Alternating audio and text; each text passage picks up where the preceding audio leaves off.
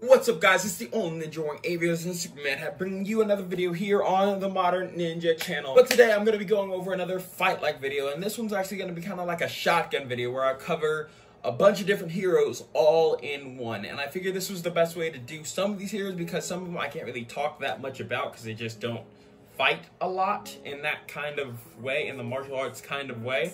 Uh, and so I wanted to kind of talk about this and if you want to see me do more videos like this more shotgun videos like this let me know down in the comments below. So obviously you read the title and so you kind of know what we're talking about but just in case you haven't we're going to be talking about how to fight like every justice leaguer in the justice league animated series in the dcau this may be because i've been watching one of my favorite channels recently and got inspired um yeah may, maybe because of you guys so uh thank you if you do happen to see this, um, collab, like, like for real, like, let's let's let's talk about something. Let's let's get some collabs going.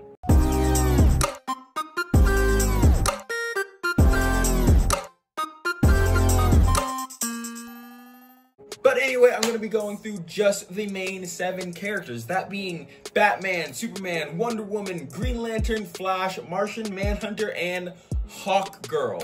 Now I know that some of these characters rely on their powers a little bit more than others, and I will touch on that when we get there. Uh, but for this video, I'm only going over their physical fighting abilities. Hit me, hit me, hit me! Their martial fighting abilities. Hence, you know, this is since this is a martial arts channel, it's kind of how that works. And I'm, I'm also only doing the, you know, first seven because if I did all of the unlimited characters, that would take like forever. Like, like actually forever. So, um, if you want me to do a part two of every Justice Leaguer in the animated series, then let me know down below. Just, you know, tell me to do it, like this video, get it popular, because if it's popular, then I'll do it, no problem. Honestly, the Batman villains alone would take forever. Like, if I did every character. The Batman villains alone would take forever. So let's get to about, I don't know, 50 likes. If we can get the 50 likes, I'll do a part two. Sounds good? I think that's fair. Now, for Batman, I'm going to be focusing on what we see in the Batman animated series. Now, why would you do that, DJ? That's a great question, fan. Let me tell you. So, while I was watching a bunch of fight scenes and going over some footage, uh, I noticed something. In the Justice League, Batman's kind of out of his weight class, more or less. I just flattened Wonder Woman. You really think you can beat me? I'm not trying to beat you. I'm trying to stall you. Stall me? For what?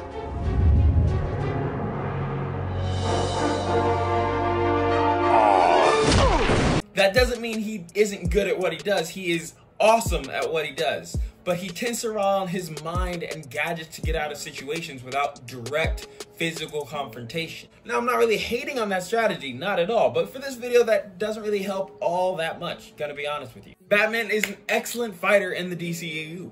As if that was a big surprise, though. I mean, he's Batman. In the DCAU, he relies more on a physical style of fighting. Throwing strong hooks and jabs is his go-to, often to set up for a giant throw, tossing his enemies like bags of trash. Like, honestly, the strength that he sh shows in this series is, is like borderline superhuman. I gotta be honest with you. As far as his defense goes, he has some of the most awesome reflexes there is. Like, this dude dodges punches like it's a child's game. Now, even though this Batman is a great fighter, the writers put more effort into the detective aspects of this character in the series. And that's probably why he's so well received by fans. He's just such a well written Batman, and the voice is so legendary. However, that's also why I can't really talk about him that much because there's not a ton of like martial fighting going on. There's mostly all of the same uh, style of stuff simply because the time period which it came out and the nature of the character that they chose to highlight. So don't get me wrong, I love Batman, but for this one, that's going to be it. If you want to see me do other versions of Batman, uh, let me know down in the comments. Now, don't get me wrong, I love my boy Superman. I, I really, really do, but... he sucks at fighting. Like, it's absolutely atrocious. Does he win? Of course he does. He's Superman, but he's a terrible, terrible fighter, and I'll explain. My biggest gripe about Superman's fighting style. And don't and this is coming from someone who is like a Superman fan. Like this, I am I love Superman. I have a ton of hats just for Superman. One of my hats, like Superman, like that's my thing. But like he doesn't block.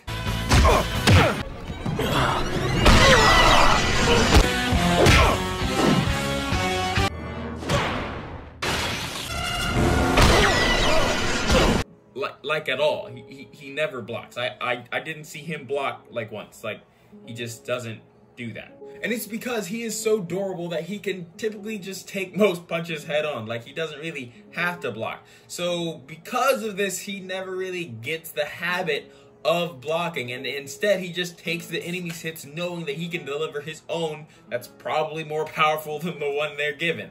Superman also almost never kicks. Most people rely on kicks for power, but he's Superman, you know. So why kick when you can punch and level a building with just, you know, a punch? But since we're on the punches now, let's talk about his punches. They are incredibly powerful, so blocking them isn't really even an option for most enemies. But for some reason, his punches are the most telegraphed punches in the entire series. Grinding up real obviously to throw, you know, a Superman punch, which, I mean, can't be blocked anyway. So like I said, it doesn't really matter. He still wins anyway because he's Superman. But as far as like if you or me were trying to do that and threw a punch like this, you would never hit anything. You wouldn't hit a single thing, like at all. Now, do these things mean he loses fights? no, not at all. I mean, he is the definition of OP. He is the icon of all of superheroes. That's kind of part of the reason I love him so much and so many other fans love him so much. But the martial artist in me like hates it. Like I'm just gonna be the martial artist in me does not like his fighting style at all. Now, he does have one redeeming quality. He is able to quite effectively toss people around when outnumbered or needing some space. This will allow him to get some breathing room and think through how he wants to fight. Because, like he says, he lives in a world made of cardboard. So, he has to be careful uh, in how he goes around fighting people, especially normal people. And so, getting being able to toss people around and get some space to think about what you're doing is an excellent skill, an important skill for the Man of Steel to have. What we have here is a rare opportunity for me to cut loose and show you just how powerful I really am.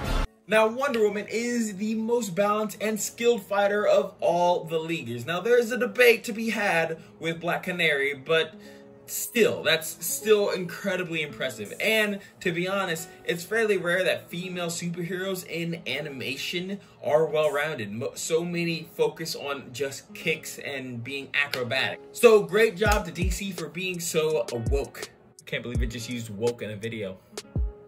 Now she's able to balance blocks and dodges for a wonderful defense. When she combines her speed, she's able to block blaster bolts at point blank range. She uses super strength to toss baddies around like they were nothing. It also allows for her to use powerful kicks and set up incredibly powerful stomps that could end powerful enemies with one blow.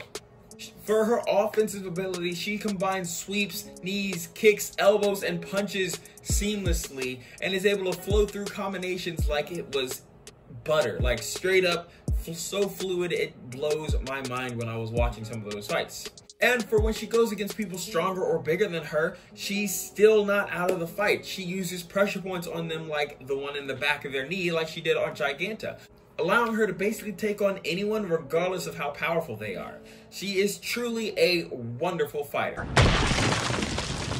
Next. Okay, okay, I'm done with the wonder puns. I'm, it, it's over. We're, we're past that part. We're good. So Green Lantern. Uh, this is one of those times where a hero relies on their power almost entirely.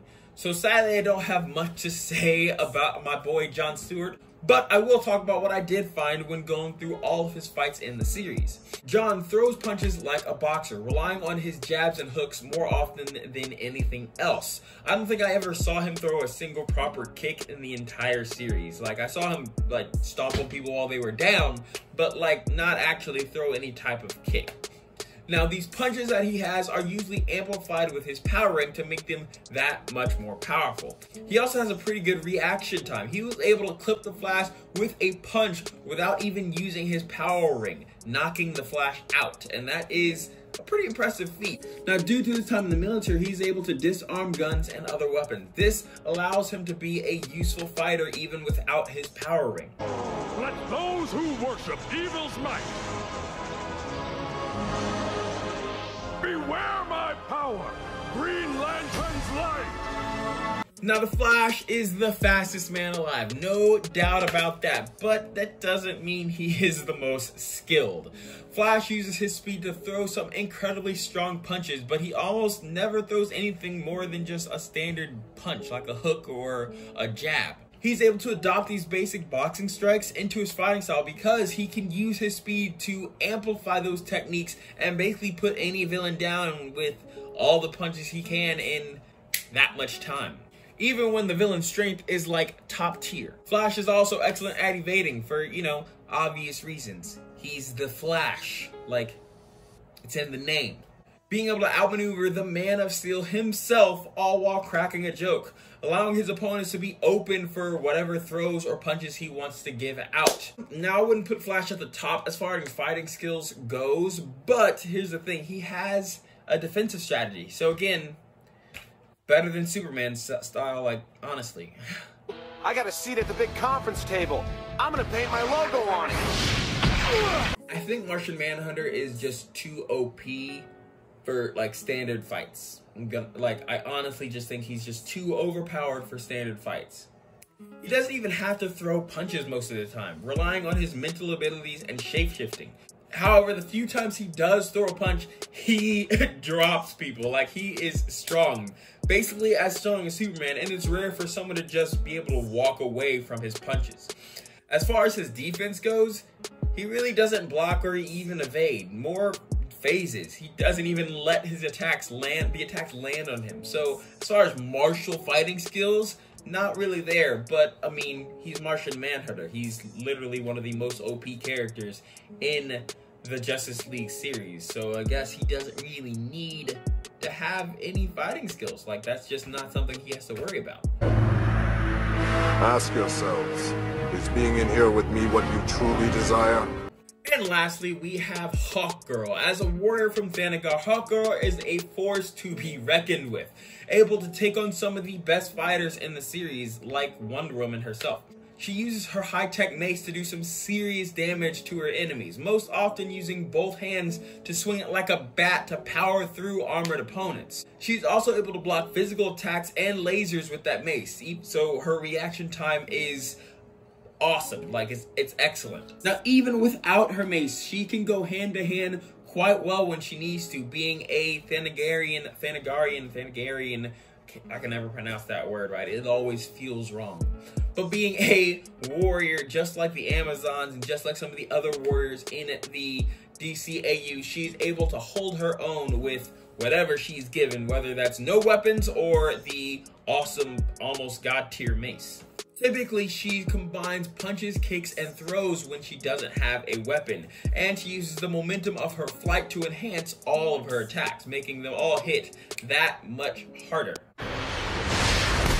Bring them back, or I'm going to find out what that bell on your head sounds like. Now guys, I hope you enjoyed this video. I know it took me a while to research all seven of these characters, and so if you want me to do a part two to this video and cover more Justice Leaguers, let me know. Again, 50 likes, I think I said earlier. So we're going with 50 likes. Let me know down in the comments if you want to see it too. If you want to pick out those characters, the next five that we do, because I'll do them in probably batches of five going forward, let me know which five you want me to do. Also, if you guys don't know, I have released some merch and I have just started a Patreon. So if either of those things is interesting to you and you want to help me make more content and help me be able to make more content quickly, uh, definitely join my Patreon because I have some awesome rewards, awesome, awesome tiers. You, I got, I have custom hats to give away. I have custom modern ninja jackets to give away. It'll be, it'll be great. So if you're interested in that, links down in the description for you guys. But until next time, my name's DJ Moore. This is the Modern Ninja, and I'm out.